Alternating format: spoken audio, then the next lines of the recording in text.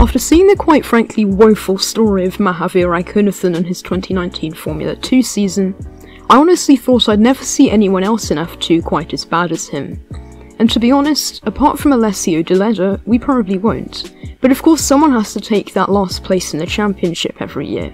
And for 2020, this prestigious award went to someone who, from comparing them on paper, actually did a worse performance than Lord Rags in F2, that's actually possible. Although he had better pace than Mahaveer did, his results were somehow worse. So what on earth happened? It's the 2nd of October 1996 in Sao Paulo, Brazil.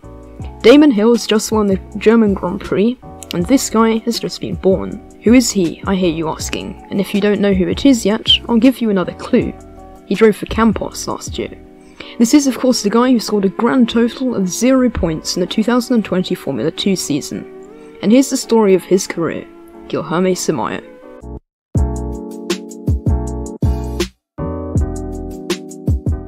Guilherme Samaia started his racing career in 2012 like most drivers, in racing versions of lawnmowers, aka go-karts. He was racing in the Florida Winter Tour Karting Championship, and he was up against the likes of McLaren IndyCar driver Oliver Askew and Juan Manuel Correa, so a good chance to prove his worth. Although unlike these drivers, he didn't do anywhere near as well, finishing 47th in the whole competition, out of 63 drivers, whilst Askew won the championship and Juan Manuel came 6th. So it wasn't an amazingly promising start, but that doesn't matter so much because it was his first ever year of racing, so he'd try again for the next year.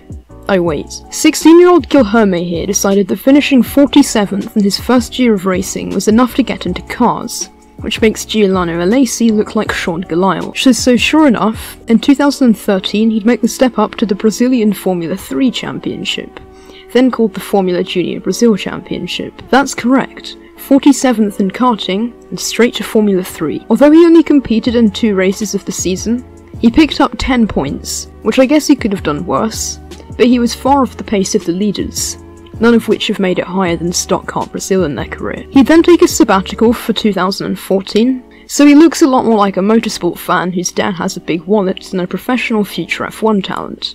But for 2015, he was back on the Brazilian F3 grid, this time racing full-time for Cesario F3 team. Racing in the secondary lights class, he took 6 wins and 13 further podiums, which sounds quite good, right? Well yeah, it's not bad, but he wasn't up against any competition at all. 90% of the field weren't professional, so it's basically like the Boss GP series, it means absolutely nothing. In 2016, he'd move up to the primary class of the Brazilian F3 Championship, where he'd stay until the end of 2017. He finished second in 2016 and first in 2017, with a combined total of 16 wins and 24 podiums, which is pretty dominant. So that sounds great, but again, he wasn't up against anyone particularly special. I mean, only two other drivers on the grid had Wikipedia pages, and according to them, they hadn't made it past Formula Renault. So this doesn't say particularly much, this championship is also less equal than the 2020 F1 season, where some drivers were driving cars 10 years older than others, so I'm sure the fact that Samaia was driving a 2011 spec car against 2001 cars definitely aided his campaign. And so far the only time where in his career where he was actually up against any decent drivers, he finished 47th, whereas they were in the top 6, so it doesn't really boast a great driver so far. However, in 2017, alongside his Brazilian F3 campaign, He'd race in Europe as well, in the British F3 Championship, as well as the second half of the Euro Formula Open Championship. Brilliant. Racing in Europe, a chance to interest F1 teams or make an actual impression, or something like that. But no. You see, although he's racing now in Europe, the Euro Formula Open Championship does not have any particular talent. More a cheaper option for racing in Europe a reason why Marino Sato is 2019's champion. So not up against some too difficult competition in Euro Formula this year? Maybe Samaia could do well like he did when he was in Brazil. Again, no. He had a best finish of 9th this year, putting him 17th in the championship, with 7 points. In his British F3 campaign, he was up against drivers such as Enaam Ahmed and Cameron Das, who were in FIA F3 last year, but weren't so great compared to the FIA F3 field when they were winning British F3 meaning that again he wasn't up against some great talent. But he still managed to be at the back, finishing in the standings as the last driver who competed in all rounds, most of the time only finishing around 10th, so again, Pretty disappointing. For 2018, he'd have another crack at Euroformula Open with RP Motorsport, and there was some better talent in the field this year, such as Felipe Drugovich and Ben Viscal. But he still did pretty embarrassingly, be it he did finish 6th in the standings, but he was consistently low down in the points, not really against anyone particularly special, and was way off the pace in qualifying.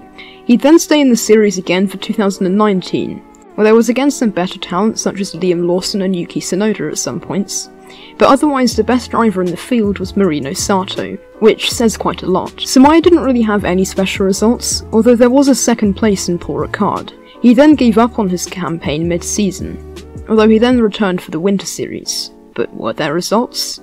No, of course not. He only managed 6th, again, but with no competition. So so far in his not very long racing career, the only time he's done decently was when the AI was set at zero, and when he was actually against some competition, he was nowhere. Although Euroformula Open is often a stepping stone before FIA F3, and with the nature of money in today's motorsport, you don't necessarily need talent to race in series like that if you've got money, which is basically a summary of Guilherme Samaia. So perhaps he would be a paid driver in F3 or something the next year. Not like anybody would actually want that, but it could be his future and he could learn something. I'm giving him a chance here. But no, Guilherme Samaia would race for Campos, a pretty decent team, in FIA Formula 2 for 2020. What the? It's the fact that he was beaten in Euro Formula and British F3 by Cameron Das, a driver who, other than living basically in the same place as I do, couldn't score a point in FIA F3 for 2020, which means that if he beats Samaia, Samaia probably wouldn't do great in FIA F3 either. So the fact that this guy got a Formula 2 seat and the 25 people who beat Das in F3 didn't is a bit E. But th that's the nature of motorsport now. Pay drivers everywhere getting seats over actual talent. Damn, I should have reworded that as an acronym for Alessio Deledda. Never mind. So here comes his F2 season the first time he's fully up against some proper competition, so we could see how he fares to drivers that Formula 1 teams have invested their future into. And oh boy, did we get to see how he compared. The opening round in Austria, he was a second and a half off the pace on the shortest track of the year, behind drivers like Alesi and Gelael, although this was actually one of his best qualifyings of the season, 19th place. In the races in Austria, he managed a whopping 15th and 16th places, and then 20th and 17th in Austria Point 2. And if you thought those results were lacking, they only went and got worse. There were several races in the season where he didn't even make the top 20, and in the Sakhir feature race he finished 22nd. Great result. His qualifying pace since Austria did not get any better either, with him being an average of over 2 seconds off the pace. Which yes, is better than Raikkonen's pace, but not anywhere near on the level of other F2 drivers, or the catastrophically large list of drivers I could name who deserve this seat more than him, which is almost as large as mine. He did have a standout performance season though, the Monza Sprint race. Absolutely amazing result he could be boasting home to his parents about. His best performance of the season by a very long way, yes it actually was. And I'm sure Formula 1 teams thought this was beautiful. Where did he finish?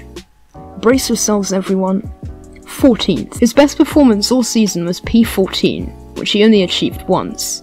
This meant that not only did he finish 24th in a 22 car championship, he finished behind Jake Hughes, who only finished one race in an HWA. So after the catastrophic season he had reminiscent of Narain Karthikeyan, you'd never have guessed it, but another team wanted him, Charouz racing system. This is pretty cool, because I didn't see the announcement that Ralph the dog had taken over as team principal of Charouz, but I guess he did. So Charouz ran him in the 2020 postseason test, where he managed to grab P10 in one session, which is actually pretty good for him, although a test isn't where people generally push the car to its limits. So again, it doesn't boast much. Will we see him in 2021 on the F2 grid? I mean, I hope not, but unfortunately, it's quite likely we will. So I don't mean to bring offence to Samaia, he is practically a robot and his eyes look fake. Thank you to John Warren for that incredible quote, make sure to subscribe to him. I'm sure Guilherme can do a whole lot better job in a Dallara F2 car than I can, but all my point is, is that he doesn't deserve the seat over other drivers bouncing around the paddock who don't get it. And although I don't think he deserves a 2021 seat at all, he's quite likely to, and if the minds at teams are clever enough to pick Alessio Deledda to drive their car, please don't sue me, I'm sure Samaia can get a seat pretty easily. So there's the short history of Guilherme Samaia's career. In short, Nowhere near as good as anywhere else. Formula 1 teams can invest in much better people, and Brazilian fans, please don't hate me, I don't personally dislike Guilherme, there's just much better talent out there. If you enjoyed this video, make sure to like, subscribe, and follow my social media. Nothing here is meant to cause offense, and you should take it as jokes. But with that, I'm Daniel, have a nice day.